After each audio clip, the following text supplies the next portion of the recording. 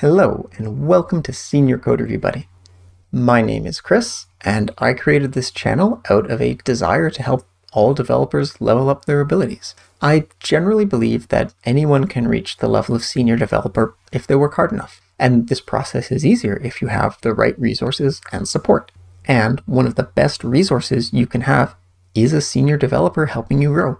But not everyone can have a senior developer beside them supporting their growth. There generally aren't enough senior developers, and they tend to be quite busy.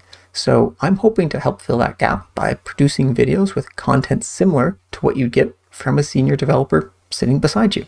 I started coding over 20 years ago, and I have over 12 years of professional experience. I've been a senior developer, a junior developer, a tech lead, and a manager of developers. I've professionally worked in C++, Golang, Java, Python, C Sharp, and outside of work, I've coded in various other languages as well.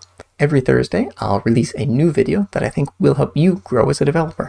I might have a certain concept I want to share, and I'll walk through some code examples to demonstrate it. Or I might walk you through some changes I've made on a project and share the reasons behind the changes, why I made certain trade-offs. And other times, I might just share an opinion. Not because I think I'm right, but because I think sharing the reasoning behind my opinion can help you grow by thinking about things in a new way. That's really the main goal behind these videos. Not to tell you how to do something, but to share my reasoning for why I make the choices I do. I've generally found that understanding the why behind a solution helps me a lot when I'm learning. Most of the code examples I'll share are in Python because it's a widely known language and I also happen to know it pretty well. But I still think most of the ideas and advice I share can be picked up even if you don't know Python. So if this all sounds good to you, please subscribe to the channel if you haven't already.